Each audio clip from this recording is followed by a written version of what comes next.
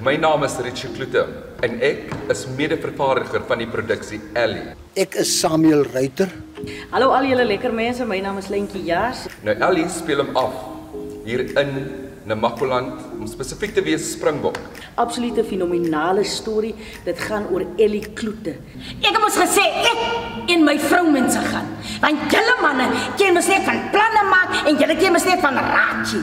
Maar ek sê vir julle die as 'n vroumens ding. En nog 'n ding, ons meisiemense, ons ken van by mekaar staan. Want wie is dit wat aan die einde van die dag die brood op die tafel moet sit en hy tegen die ontmoet sit? Nog 'n ding, al wat julle moet doen is Kyk julle vir my môre agter die ment en maak seker dat Smits en die boere nie hier inkom en ons grond onder ons kom uitstel.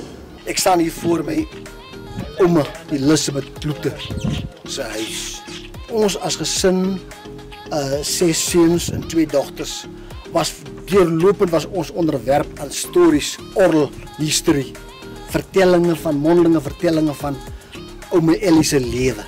Ellie was nie maar net 'n vrou nie, sy was 'n kragtadige vrou, maar bovenbehalwe dit het Ellie geweet hoe om te veg vir reg en vir ongeregtigheid. Ellie was 'n vrou wat nie stil gesit het nie, maar sy was aan die beweeg geweest. Sy was 'n boer geweest, maar die hele storie, die hele konteks rondom dit gaan oor grond wat wat wat ontneem was of hulle grond wat Ellie se grond was weggevat. Enige bydrae wat jy kan maak, vervoer, geld, groot donasies. Maar ek dink ons budget is is nog ons redelik nie ons praat van 'n klein bedrag nie. Kom partner saam met ons om hierdie storie na die planke toe te vat om Ellie se storie 'n stem te gee sodat Suid-Afrika dit kan hoor en nie net Suid-Afrika nie maar ook die hele wêreld. So asseblief partner met ons 'n donasie hier, 'n donasie daar.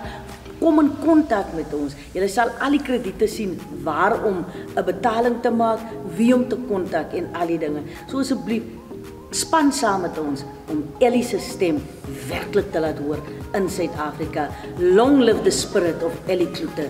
Long live.